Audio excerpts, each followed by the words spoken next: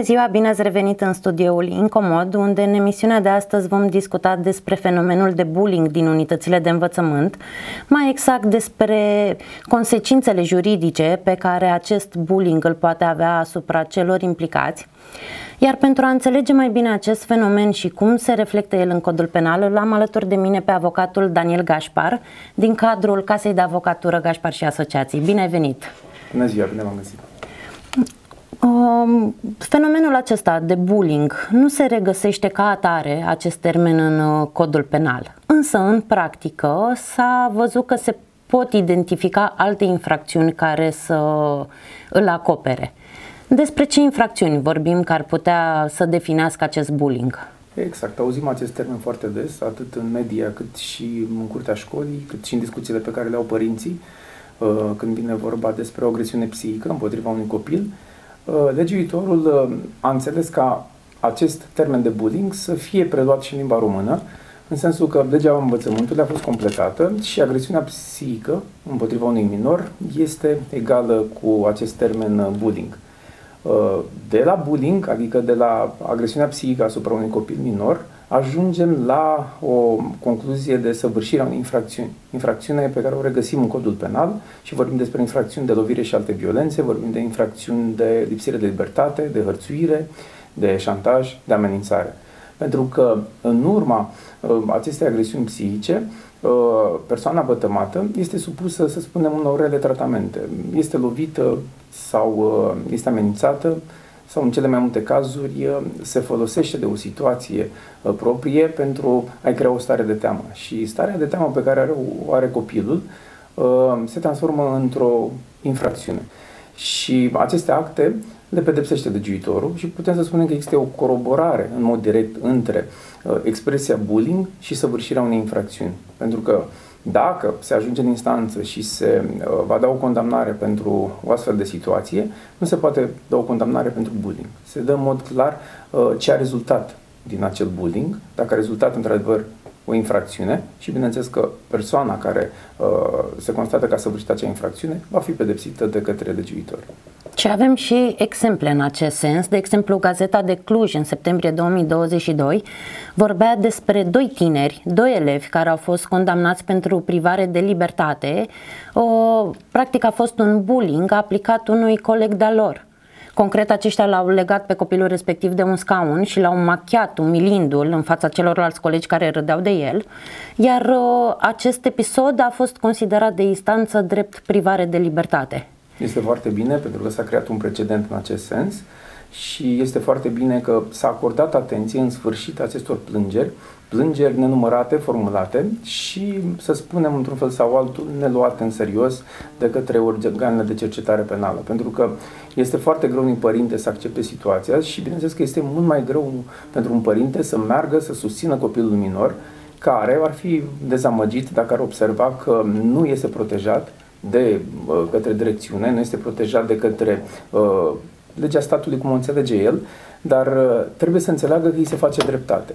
Și dreptatea o înțelege până la o anumită vârstă că acea persoană trebuie pedepsită într-un fel sau altul pentru că el nu înțelege că acea persoană nu va mai săvârși în continuare și a cerut scuze sau regretă. El dorește, are bă, această dorință, pentru că am participat la astfel de discuții, atât cu părinții care au apelat la serviciile noastre pentru a formula astfel de plângeri, dar și cu copilul minor, care a fost obligat să participe la niște cursuri apoi de recuperare, să spunem, alături de un psiholog, pentru că e o perioadă a copilăriei marcantă, care va avea efecte secundare după plinirea vârstei de 18 ani și se va regăsi atât în viața lui uh, de major, cât și în activitățile pe care le desfășoară.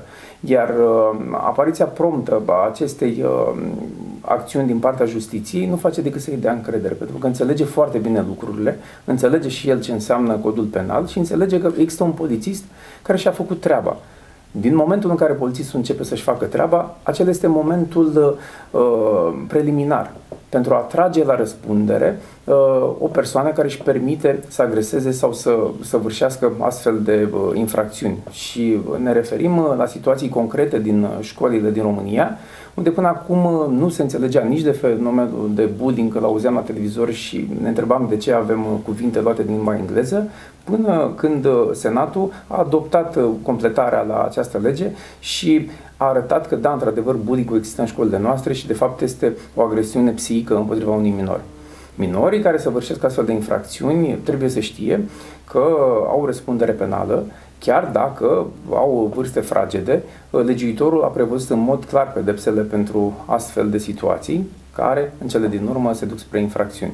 Și, dacă mă lăsați să spun, vorbim Sigur. despre minorii până în 14 ani care nu răspund penal, dar uh, Uh, se pot lua măsuri uh, educative față de aceștia, iar minorul între 14 și 16 ani, în urma unei expertize, dacă se stabilește care discernământ, va răspunde cu o pedeapsă în jumătate față de pedeapsa prevăzută pentru un major.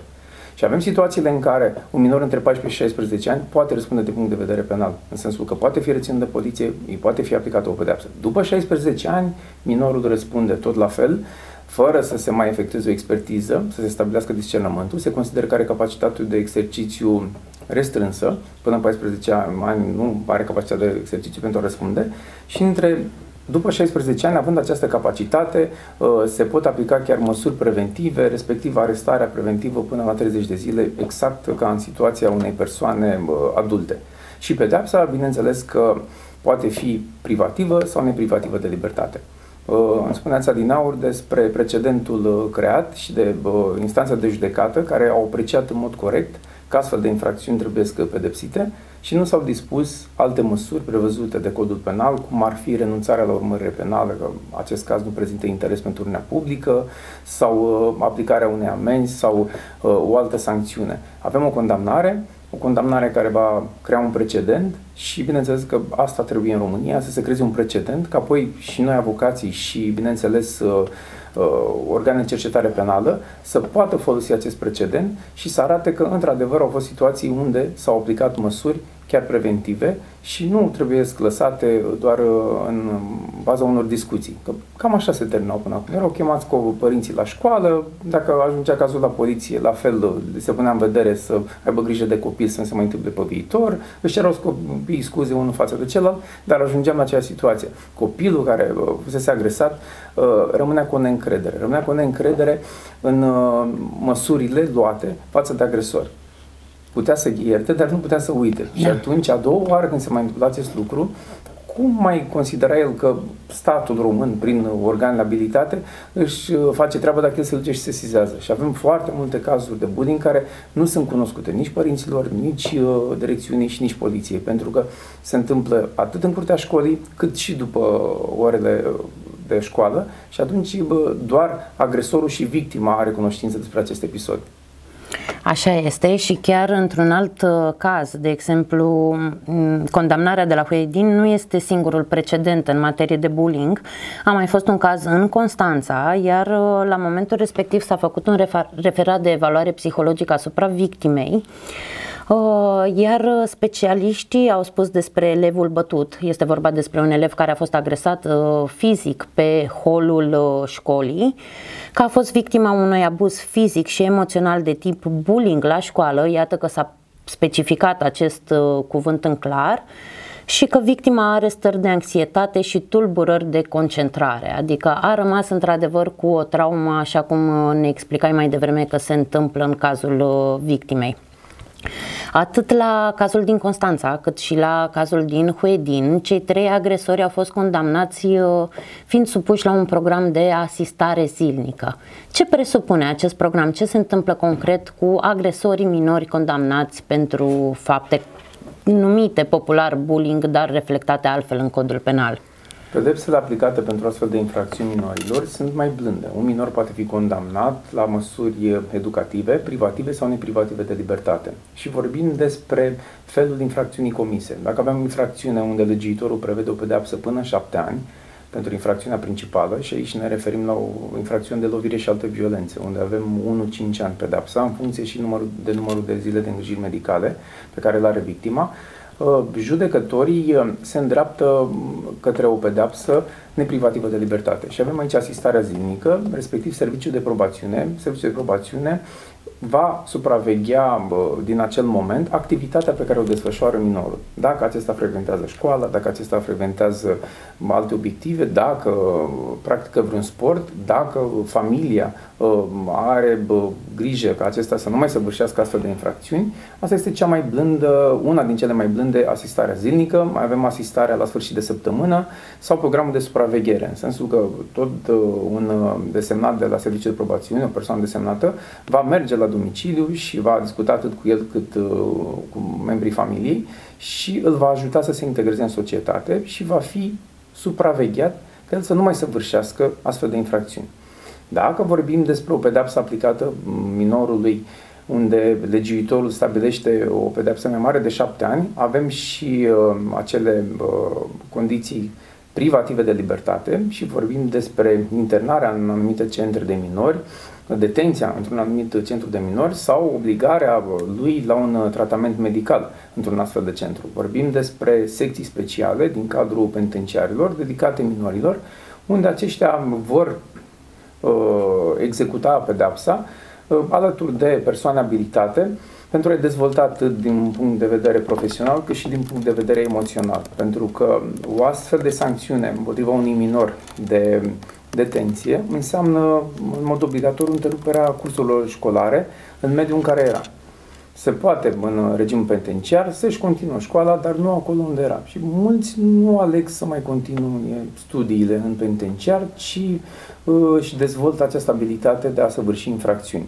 Și atunci magistratul care uh, va pronunța această soluție uh, trebuie să ia o decizie foarte grea este mai bine să-l îndepărtezi din societate, într-un mediu unde s-ar putea să se înrăiască și să vină mai pregătit pentru a săvârși infracțiuni sau să-l lăsăm în sânul familiei, care înțelege gravitatea și are mult mai multă grijă de, uh, de acel copil condamnat. Uh, în situația pe care mi-ați arătat-o în țară la Huedin, cu lipsirea de libertate, infracțiunea este deosebit de gravă. Adică lipsirea de libertate a unei persoane prin negarea acestuia și supunerea la rele tratamente în mod clar că uh, putea duce la o pedeapsă uh, cu detenție lipsire de, în lipsire de libertate, adică în mod obligatoriu într-un centru să fie uh, internat. Totuși s-a mai acordat o șansă și uh, consider că acest precedent a arătat că există și posibilitatea să uh, fie îndepărtat din societate. Dar, în mod clar, uh, președintele uh, de complet care a aplicat această sancțiune s-a gândit la perioada de după, nu la perioada aceasta. Pentru că dacă se face dovada că este un eveniment izolat și că um, acel copil poate fi reintegrat în societate, pentru că are o familie care îi poate oferi acest lucru, în mod clar că va prima acest lucru. Dar dacă vorbim despre un copil care nu are părinți sau părinții sunt plecați în străinătate și el lăsat uh, liber se pregătește să vârșească o altă infracțiune, în mod clar că magistratul se vede obligat să îl îndepărteze în societate să aplice o pedeapsă privativă de libertate. Și vorbim despre, cum am arătat adineauri, infracțiuni pe care le analizăm ca infracțiuni grave. Vorbim despre acest șantaj și vă dau un exemplu clar unde un uh, copil minor intră în posesia parolei de la un telefon și accesează niște fotografii și le trimite și apoi șantaja o fetiță de 12 ani că îi va face un cont fals pe o rețea de socializare și uh, o va face de râs. Și bineînțeles că acel copil a avut teamă să spună părinților da. pentru că a considerat că părinții nu vor înțelege cum acele fotografii au ajuns în posesia colegului, ă, până când ă, acțiunile de ă, șantaj au continuat. Tatăl a venit la biroul nostru, ne-a explicat situația și în mod clar poliția a stabilit că nu a fost decât o victimă și nu a avut cum poate alte persoane uh, transmit aceste fotografii, uh, nici măcar gândul să le transmită, ci au fost luate uh, printr-o anumită metodă și exista în mod clar infracțiunea de șantaj. Și bineînțeles că organele de cercetare penală din județul Praova au sprijinit, să spunem, atât părinții, cât și direcțiunea să poată face o anchetă atât internă, să stabilească în mod clar dacă acel copil uh, mai făcuse astfel de lucruri. Și într-adevăr mai făcuse altfel de lucruri, mai făcuse conturi uh, false, mai uh, postase fotografii sau alte situații, mesaje prin screen pentru a provoca o stare de teamă și pentru a arăta că într-adevăr poate să controleze într-un fel sau altul situațiile acestea unde absolut fiecare copil Uh, are un telefon mobil, are o rețea de socializare mm. și um, a vrut să dovedească cum pot aceste rețele de socializare și aceste telefoane mobile să le creeze uh, probleme. Am formulat plângerea penală, bineînțeles, uh, la organele de cercetare penală, care au pus în mișcare acțiunea penală și așteptăm la fel și la nivelul județului Prahova să fie trimis acest dosar către organele competente pentru soluționare, respectiv uh, Tribunalul Prahova, care va pronunța o decizie în acest sens. Și în acest caz vorbim despre infracțiunea de șantaj?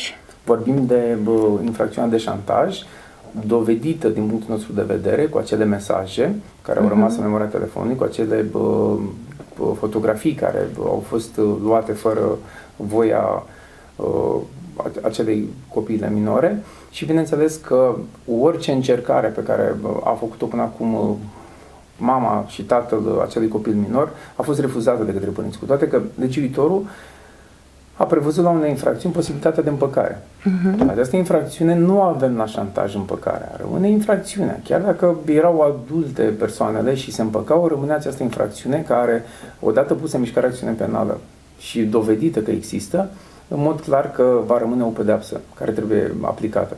Nu vorbim despre infracțiune de fur simplu sau infracțiune de lovire și alte violențe.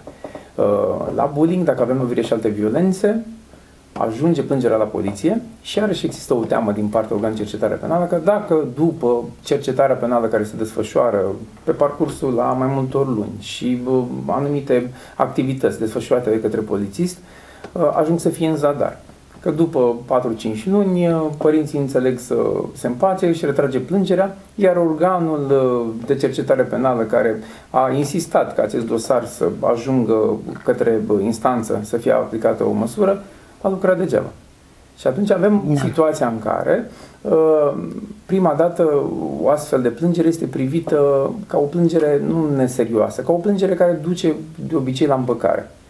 Dar nimeni nu analizează, și aici mă refer la persoanele vinovate, nu la părinte, că părintele simte, situația în care este pus copilul și că deciziile sunt luate de către alte organe competente dacă acea persoană va fi pedepsită sau nu. Pentru că, v-am spus, sentimentul de liniște și de a putea merge mai departe este atunci când o persoană vătămată observă că într-adevăr s-a făcut ceva în cazul ei. Și aici Când este apărată. Este apărată și, într-adevăr, s-a intervenit și uh, are și siguranța că acel lucru nu se va mai întâmpla. Pentru că odată ce uh, se impune o sancțiune împotriva agresorului, agresorul uh, are ca o recidivă, ca un antecedent. Și atunci, a doua oară, nu se mai aplică în același mod legea, adică să fie blând cu el. În mod clar, va obține o pedapsă mult uh, mai aspră. Există termenul de recidivă în cazul minorilor. Vorbeați mai devreme despre a acorda o șansă acestor minori agresori. Dacă îi se acordă o șansă, îi se dă, eu știu, măsura asistării zilnice și peste 2-3 luni, un an, săvârșește din nou o astfel de faptă. Se ține cont de fapta anterioară? Uh, până în 18 ani, uh, faptele săvârșite uh, se regăsesc atât în, în evidențe de poliție, cât și în cazierul minorului în sensul de a ține cont judecătorul în aplicarea unei noi pedepse. Că acesta a mai avut anterior uh, o pedepsă blândă, neprivativă de libertate, iar uh, în momentul în care mai săvârșește într-o anumită perioadă impusă de către legiuitorul o altă infracțiune, uh, magistratul are obligația de a lua în considerare starea de recidivă, să spunem, post-condamnatorie sau post-executorie, depinde de când săvârșește infracțiunea, iar noua sancțiune va fi o sancțiune privativă de libertate. Ce este, bă, nu ciudat, pur și simplu, încă din 1969 a, este prevăzut în codul penal, faptul că odată cu împlinirea vârstei de 18 ani, tot ce a săvârșit un minor până la vârsta aceea este șters și nu se ia în considerare de către magistratul care pronunță o hotărâre de condamnare. Dacă l-am plinit 18 ani să săvârșește o altă infracțiune, poliția poate face uh, uh, să aducă la cunoștință, într-un fel sau altul, printr-un referat, că acesta chiar și minorat a săvârșit alte infracțiuni. Dar magistratul nu are voie să considere ca stare de recidivă sau mm-hmm. să-i agraveze situația, ci îl lasă să beneficieze ca și cum uh, a fost un restart total de la vârsta de 18 ani, are capacitate de plin de exercițiu și din momentul acela mm-hmm. răspunde pentru faptele săvârșite. Am înțeles. În uh, cazul de la Constanța am mai observat ceva agresorului, adolescentului respectiv, i s-au aplicat și o serie de interdicții.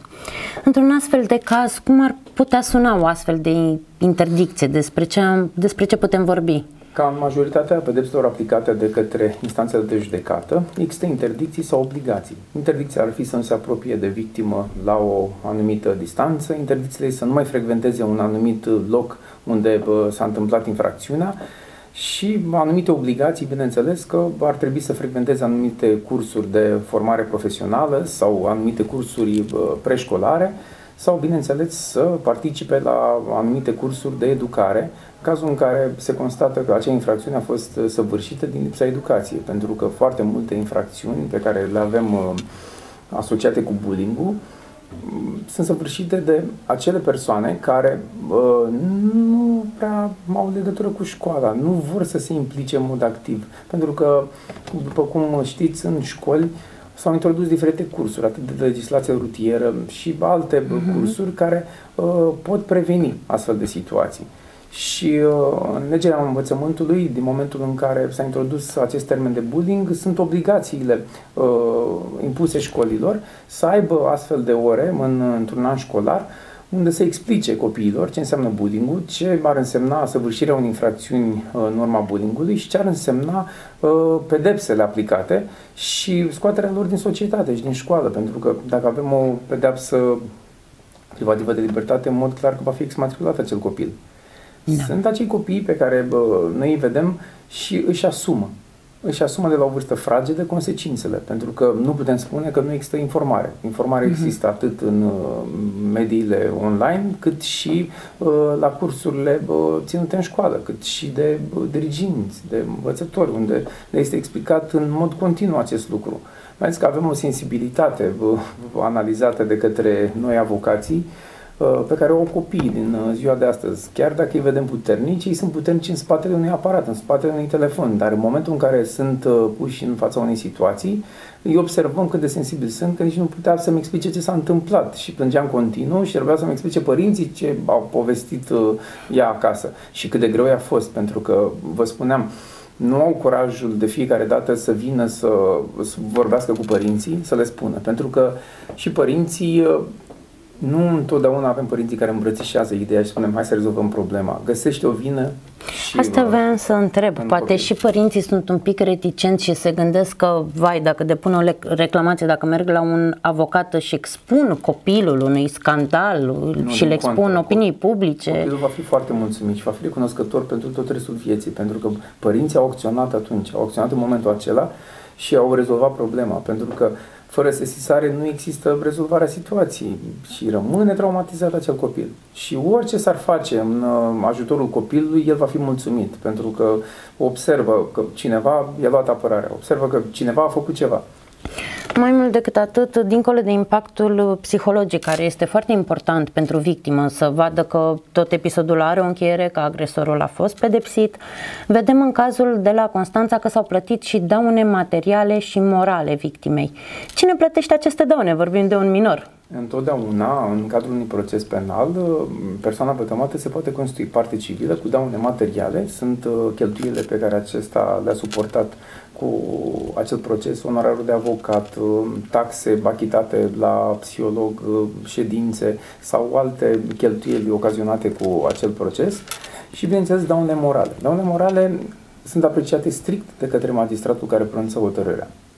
Ai posibilitatea să ceri daune morale orice sumă, dar judecătorul va aprecia ce consecință negativă a avut asupra psihicului, asupra copilului, asupra mediului în care se află copilul și apreciază o sumă pe care o va stabili ă, ca sumă reparatorie pentru uh, umilință și pentru situația în care a fost pus copilul. Iar daune, bineînțeles, că vor fi plătite de către părinții acelui copil, pentru că nu avem o persoană solvabilă până la 18 ani, iar părinții sunt cei care răspund pentru faptele săvârșite din punct de vedere material. Că dacă avem o distrugere sau o faptă săvârșită de către un minor, avem o lege specială, legea 61, pe 1990, care sancționează părintele pentru faptul că nu a avut grijă de acel copil și a permis într-un fel sau altul, prin neglijența lui, să se întâmple uh, acea faptă și bineînțeles că repararea prejudiciului este direct în sarcina părintelui. Pentru că părinții sunt cei care răspund uh, din punct de vedere, să spunem, limitat. Nu mm-hmm. vorbim de o răspundere penală, pentru că uh, neglijența uh, față de un copil lăsat nesupravegheat se sancționează contravențional. Dar minorul răspunde pentru fapte, ceea ce am discutat, în limitele legale. Dacă vorbim despre o distrugere într-o unitate de învățământ, ar putea fi sancționați prin această lege 61 și cadre didactice? Uh, dacă în momentul acela uh, de supraveghere a copiilor uh, se ocupau cadre didactice și aveau în fișa postului și aveau ca sarcină lucrul acesta, în mod clar că polițiștii ajunși la locul faptei au dreptul să sancționeze uh, cadrul didactic, pentru că a fost lăsat nesupravegheat. Când trimitem copilul la școală, considerăm că acel copil în clasă, în intervalul orar, excepție sunt pauzele, dar și atunci au uh, o supraveghere într-un fel sau altul, uh, nu a fost atent și nu le-a acordat atenție, permițând ca acei copii să săvârșească acele, să spunem, fapte de distrugere sau orice se poate întâmpla acolo. Pentru că veți observa, se întâmplă atât în școală astfel de activități, să spunem, uh, duse spre infracțiune, cât și în afara școlii. Și apoi în da. școală avem, să spunem, uh, așteptarea ca acești copii să fie supravegheați. Referitor la cele două condamnări, cât de, de ajutor sunt, să spunem așa, acestea în cazurile viitoare. Cu alte cuvinte, cât de important este precedentul în legislația românească? Faptul că în motivările instanțelor a început să apară termenul de bullying, chiar dacă nu este momentan în codul penal.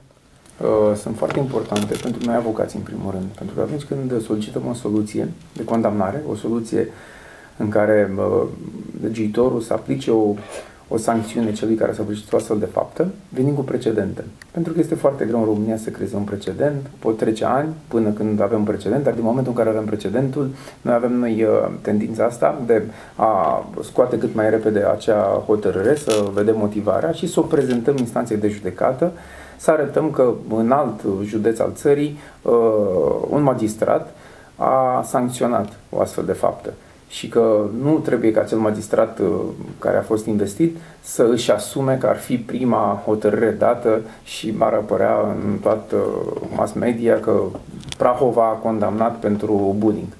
Același lucru îl facem și cu alte infracțiuni, cum au fost, uh, spunem, uh, cele mai ușoare, restituirea acelei taxe de matriculare. Ani de zile niciun magistrat nu avea curajul să pronunțe o hotărâre de restituire a acelei taxe de matriculare încasate nelegal de statul român. Da. Lucru stabilit uh, în mod clar prin lege și apoi au ieșit public și au spus da, am încasat acele sume și le vom restitui. Dar până în momentul în care un reprezentant al statului a ieșit și a spus public, judecătorii aveau legea care prevedea în mod clar că acea taxă de matriculare a fost achitată nelegal. Și apoi au început uh, să apară o la Tribunalul Constanța a fost prima hotărâre, iar noi avocații am luat-o și am împrăștiat-o prin țară și apoi toate uh, instanțele au uh, admis cererile formulate de către noi și au restituit acele taxe matriculare, inclusiv plata dobânzilor. Așa și aici. Uh, folosim hotărârile de condamnare. Cazurile sunt uh, puțin diferite în, uh, în sfera penalului, pentru că circumstanțele,